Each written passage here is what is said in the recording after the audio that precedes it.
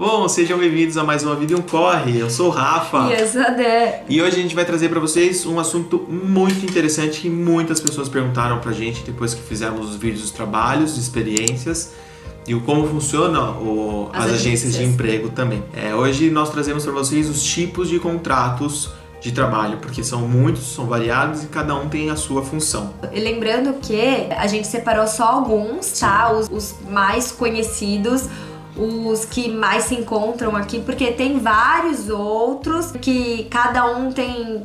A sua particularidade. Exato, então não tem muito como ficar falando de todos. Por exemplo, na área de esporte, na área de teatro, na área de cinema, enfim, um exemplo, tá? Ou autônomo, é uma outra coisa, tá bom? Vamos lá? Bora? Bom, começamos primeiramente com contrato indeterminado. O próprio nome diz, não tem fim. É um contrato que não a acaba. maioria quer, né? É aqui. aquele contrato que a maioria quer. Por quê? Um contrato indeterminado, você pode alugar casa, comprar casa, comprar carro, é, você, pode tudo, porque é uma garantia que daqui a seis meses você vai estar recebendo dinheiro e vai ter condição de pagar o financiamento de um carro, o aluguel, ou financiamento de uma casa, enfim, é uma garantia para a pessoa que está te, te vendendo um carro, te alugando uma casa, te- enfim, é uma garantia para ela que você terá condições de pagar. Que você tem um dinheiro fixo caindo ali todos, Todos os os meses, que meses. você trabalha de segunda a sexta, das 8 às 5, é, então naquele horário é, comercial. E então é, uma- é o que o Rafa falou, é uma garantia a mais, sendo que, é, por exemplo, se for comparar mais ou menos com o que o Brasil tem, seria um contrato com tipo um concurso, que é muito difícil Sim. você ser mandado embora. Calma, não é a mesma coisa. Antes que alguém, por exemplo, ah, mas não é a mesma coisa. Não, não é a, Não mesma, é coisa, a mesma coisa. Mas só pra tentar entender um pouquinho do que é. Então, quando você consegue um contrato indeterminado, você é mais fixo naquela empresa. As chances de você ser mandado embora é muito. Muito remota. Isso, é muito baixo, digamos Se assim. você for pensar assim, é só por justa causa que você pode ser mandado embora. Ele, assim, eles não podem te mandar embora porque não vão com a sua cara. Por É, qualquer motivo, é. tem que ter uma justa causa para ser mandado embora. Você, sei lá, destruiu a empresa. Sim, sim. Você pode sim ser mandado embora, mas É difícil. é difícil. Bom, o segundo tipo de contrato é o contrato a tempo determinado. O que, que significa? Tem uma duração. Início e fim. Cinco meses, dez meses, dois meses, um mês, uma semana. Tem uma duração. Começa tal dia, termina tal dia. Ele pode ser renovado cinco vezes dentro de 36 meses. Se é um contrato que é, por exemplo, inferior a seis meses, ou seja, um contrato de dois meses, tá? Para o próximo contrato tem que ser esperado 10 dias. Se é um contrato superior a seis meses, ou seja, um contrato determinado de um ano, tá? Ele de um para o outro tem que ter um tempo de espera de 20 dias. Se não for respeitado esses dias, tem que ser feito um contrato indeterminado, porque tem que respeitar, é regra, lei, tem que ser assim. Não respeitou es- esses tempos de 10 e 20 dias, contrato indeterminado tem que ser feito. E lembrando que o contrato determinado geralmente leva para o contrato indeterminado. Sim. Então a empresa é uma forma, querendo ou não, de a empresa conhecer você, de você conhecer a empresa. Sim. Então, ó, eu vou pegar, lógico, eu não vou te dar logo um contrato indeterminado, porque eu preciso conhecer você, eu preciso ver. Eles falam muito isso aqui, né? É. Preciso ver se você se sente bem com a empresa, se você gosta do trabalho. Então, as duas partes Saem ganhando. saem ganhando. Então, se conhecem e é o tempo mais ou menos que você tem para realmente se adaptar no lugar. Tem empresas que rapidinho é, faz um contrato indeterminado e tem empresas que aí fica estendendo até dar esse tempo o máximo que pode. o máximo que pode, né? No meu caso, na minha primeira empresa, onde eu tive um contrato indeterminado, eu fiquei uma semana com o contrato determinado, fiz- fizeram uma semana, isso com agência, como a gente já explicou nesse outro vídeo aqui em cima. É, depois de seis meses, eles já me deram um contrato determinado, indeterminado. Depois de seis meses, indeterminado diretamente com a empresa. E na empresa de agora? E a empresa de agora foi depois de outubro. Não, aí é uma outra, a gente já julho. puxa pra de agência. Exato. O Rafa começou com agência. Já vamos começar a falar então. É contrato de somministrazione. O contrato de somministrazione envolve três partes, como eu já falei também em algum vídeo, provavelmente nesse mesmo que eu falei antes. Da agência, Da eu agência, acho. é. Sim, sim. Ou seja, é contrato entre empregador, ou seja, uma empresa, uma fábrica, contrato entre a agência de emprego e o contrato entre o trabalhador. A empresa, tá, contrata a agência de emprego que contrata você. Ela interme- intermedia essa, essa ligação.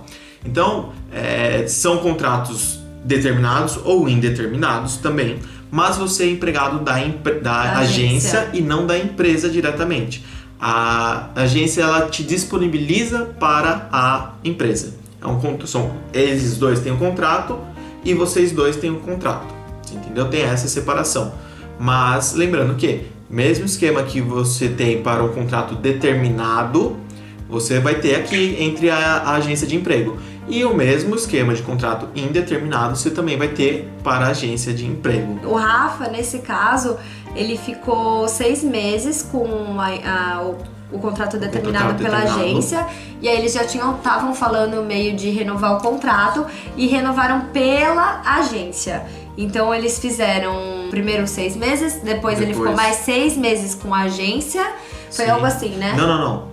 Seis meses com a agência e mais dois, que eu fiquei até julho. Isso, do- exatamente. Então ele renovou mais dois meses e depois já renovou direto com a empresa. Então hoje em dia ele trabalha com a empresa indeterminado. Todas as coisas que o Rafa precisava, por exemplo, vou fazer o imposto de renda daqui, tinha que falar com a agência.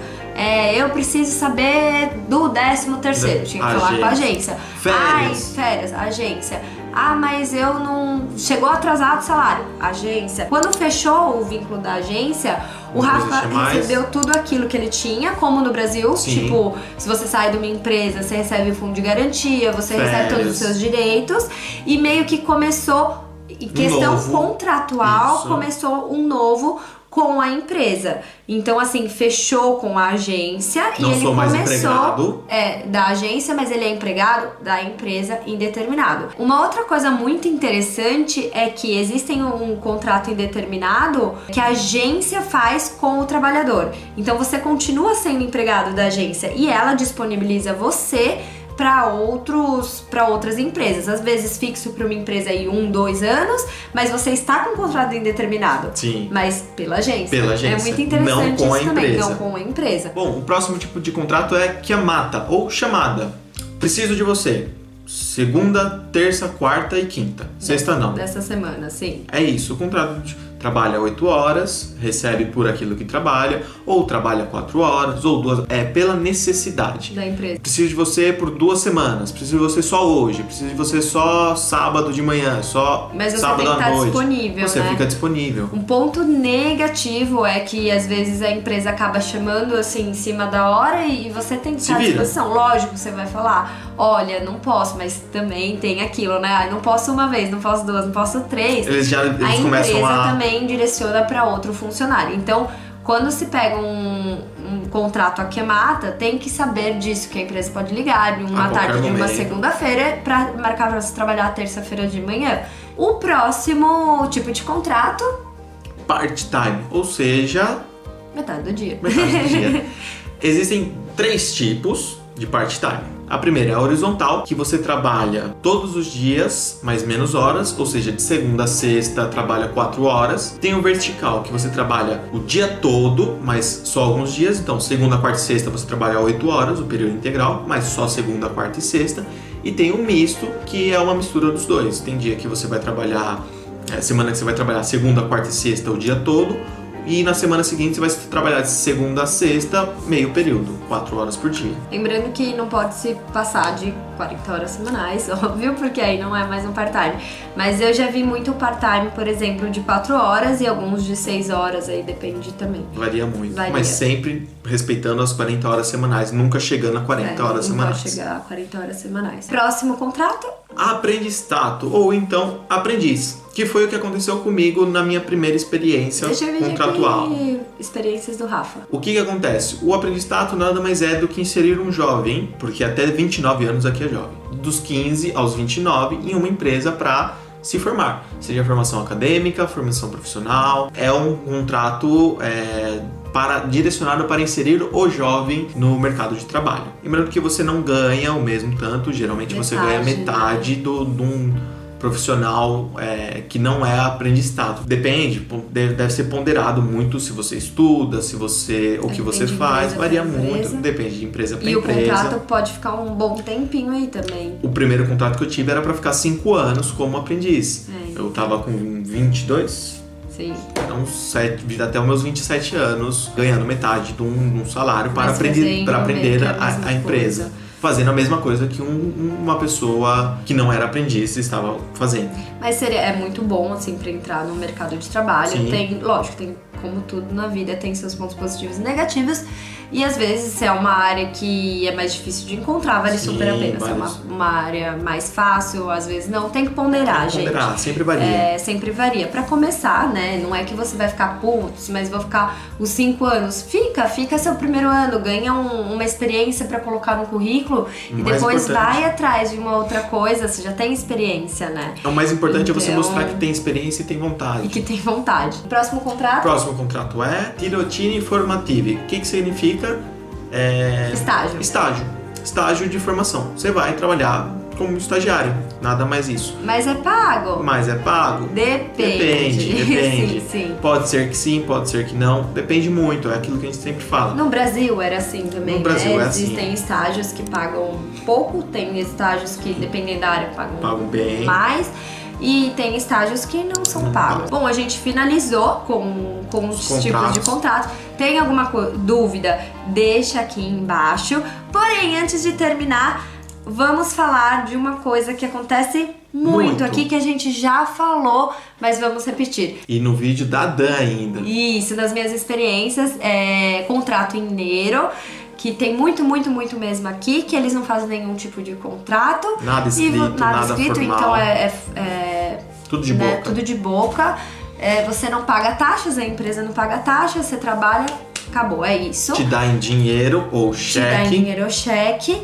É, entretanto, todavia, já contei lá atrás que quando eu trabalhava na pizzaria, eles fizeram um contrato é, a tempo determinado. Meio a meio. Só que no contrato falava que eu trabalhava 17 horas mensais e na verdade eu trabalhava 25 horas por semana. Então a maioria, 75% até mais se bobear, era em Neiro e a outra era um pouco ali registrado no final. Quando eu saí, eu peguei algum um pouco do direito que eu tinha em cima das horas que eu trabalhei no contrato. Ou seja, nada. Né, então. Mas pra começar, eu não reclamo, eu adorava o que eu fazia, adorava as pessoas. E pra começar, eu acho que serviu muito, né? Sim, Apareceu na hora justa. é, A oportunidade que apareceu foi. Excelente. Então foi, pra, é, foi errando que eu aprendi até hoje, lógico.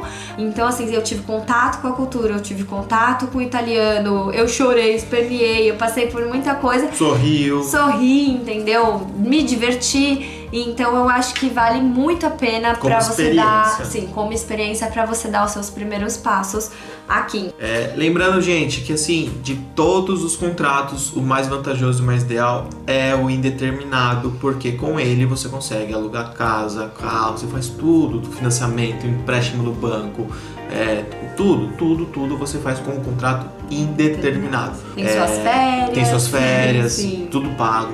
Contrato mineiro, infelizmente, não te proporciona isso. Contrato a tempo determinado, pode ser que você consiga, mas é muito difícil também.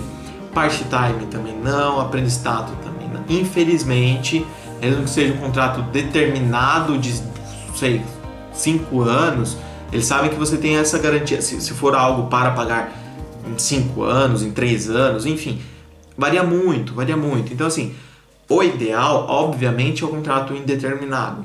Porém, às vezes você tem que sujeitar a um contrato determinado porque é aquilo que vai te levar para um indeterminado. Sim. Ou um part-time que vai te levar para um indeterminado, ou até mesmo um estágio que te leva para um indeterminado. Mas lembrando sempre que o foco tem que ser o indeterminado. Depende da pessoa Dep- também, depende né? da pessoa. Eu, no caso, não tenho contrato indeterminado, o Rafa Sim. tem. Mas depende do que você procura, mas é o que o Rafa falou. Você tem um contrato indeterminado, te Muita leva a, a muitas coisas. Mas também pra começar, Lembrando sempre que todos os outros contratos, uma hora ou outra, te leva para um indeterminado, seja pela experiência num serviço, seja pela experiência com a língua, com lidar com a pessoa. Então, assim, é, experiência, experiência, experiência, experiência para você, indiferente do tipo de contrato que seja. Sim. Bom, acho que a gente já falou tudo. Sim. Espero que a gente conseguiu explicar um pouquinho aí pra vocês as dúvidas que estavam. E se não, se ainda ficou alguma dúvida, é, comentem. Comentem. É, Instagram. direct, Instagram, tudo, tudo A gente, e-mail. a gente lembra sempre, se não respondemos, iremos responder. Muita gente manda mensagem, mas a gente vai respondendo Sim, aos, poucos. tá? E fiquem ligados que vai ter quiz sobre isso, hein? É, vai lá, acompanha no Vai Insta. Instagram. Um beijão e boa Até semana. a próxima.